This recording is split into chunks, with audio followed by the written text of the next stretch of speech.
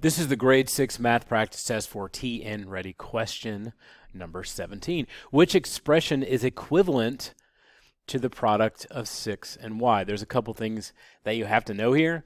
First off, you need to know what the word product means.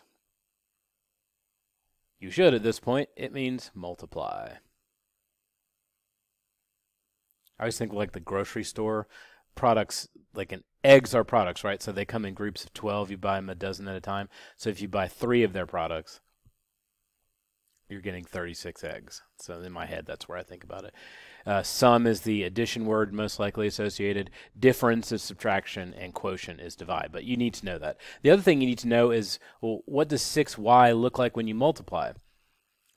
When we start to work with variables, we no longer use the x symbol for multiply because there is a very common variable to make it x, and this looks very confusing.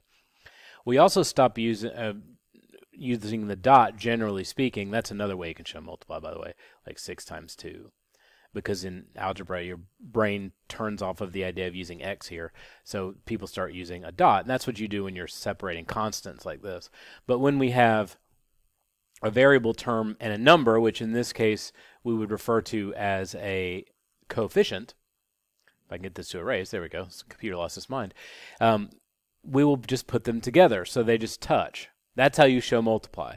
Now we can identify the 6 as a coefficient on the variable of y. So you're just looking for multiply. That's what that looks like. It's here. This is obviously not product because this is addition, so that's out. It shows the sign. Subtraction here shows the sign. And this is a fraction, which is a division.